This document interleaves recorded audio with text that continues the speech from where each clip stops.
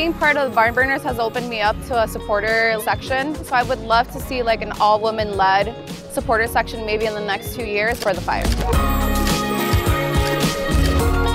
Hi, my name is Brenda. I've been a Chicago Fire supporter since 2012, so now looking at 12 years. I was brought in by another barn burner. His name is Mauricio Pineda. I just remember being in Bridgeview, being in the stands and just yelling and cheering for the fire, something that I didn't even know that was going to take up so much part of my life. It's been really great just being part of something so big.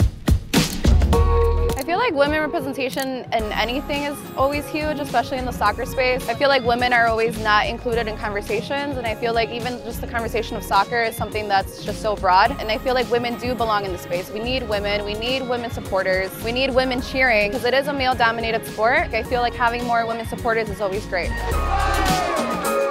I grew up with soccer in my life. I am from Hispanic heritage and just having like a team that's in Chicago is huge for myself, for my family, for women. It's just like such a welcoming community. It's the last game and like we're headed what seems like in a good direction. We're still here, we're still cheering them on, we're still hoping for the best and just looking forward to having a great start of the next season.